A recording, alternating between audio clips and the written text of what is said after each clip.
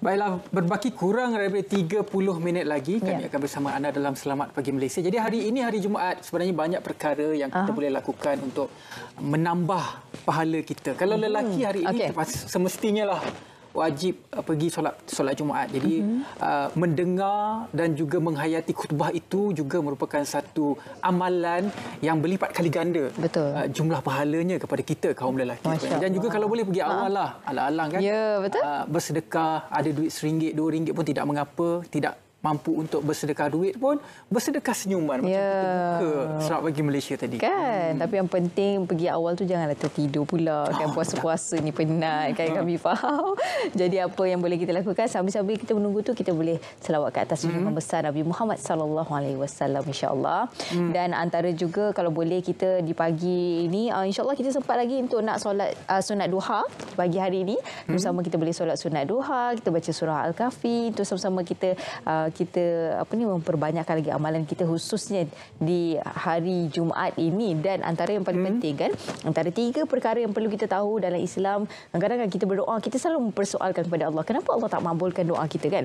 Ha, kerana ada tiga sebab. Satu adalah Allah akan makbulkan doa kita di bukan di dunia tetapi di akhirat. Ha, Allah simpan doa itu. Hmm. dan yang kedua adalah Allah tidak makbulkan kadang-kadang sebab doa itu dia akan memberi musibah kepada kita tahu ha, jadi kalau kadang-kadang doa tu kita nak sesuatu sesuatu tetapi sesuatu itu tak bukanlah yang terbaik untuk kita mm-hmm. ha, maka Allah akan berikan sesuatu yang lebih baik untuk kita semestinya perancangan Allah itu lebih baik mm-hmm. jadi Allah akan simpan doa itu untuk mem, uh, melindungi kita sebenarnya mm. ha, jadi jangan kita mempertikaikanlah kan kadang kita kita sering kali kita berdoa kenapalah? Orang tu boleh dapat yang apa yang aku nak tapi aku tak dapat apa yang aku doa selama ni bertahun-tahun eh. Ha, jadi ini antara tiga perkara yang perlu untuk kita tanam dan kita memahami ya, insyaallah. penting sebenarnya untuk kita ha. sebagai manusia untuk menerima apa sahaja yang berlaku itu dengan hati yang terbuka. Kerana apa?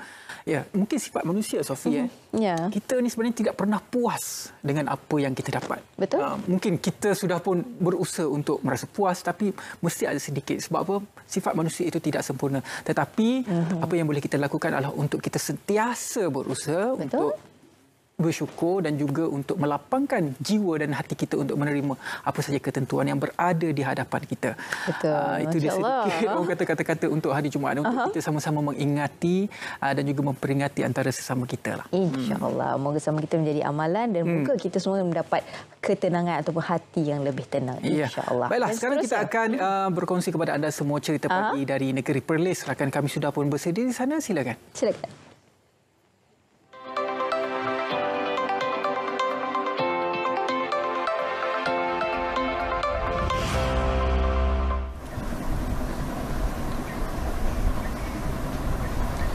Baik, Assalamualaikum dan uh, selamat pagi.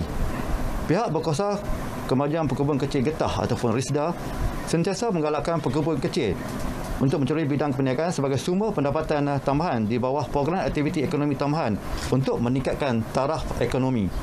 Baik, cerita pagi dari polis hari ini kita akan bawakan mengenai usahawan bimbingan RISDA yang mengusahakan perniagaan kuih tradisional dan moden khususnya menjelang Aidilfitri.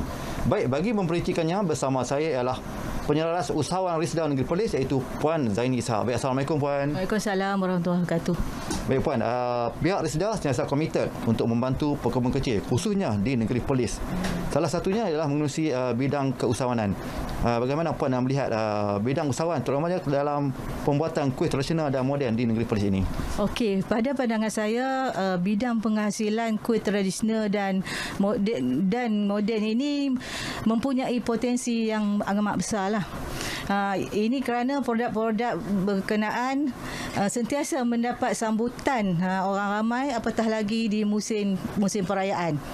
Uh, ia juga berupaya uh, menarik minat uh, pelancong tempatan dan luar yang sering berkunjung ke kawasan kampung dan pendalaman untuk menerokai kepelbagaian dan uh, keunikan produk yang dihasilkan. Uh, antara produk yang dihasilkan oleh usahawan Risda Negeri Perlis uh, adalah uh, kuih bahulu, peniram, kuih karas, kuih sepik, lempiang, kuih siput dan kuih loyang.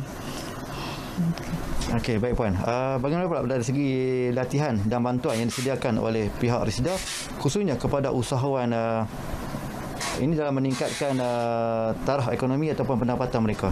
Okey. Risda menyediakan pelbagai bantuan uh, untuk membantu usahawan pekebun kecil.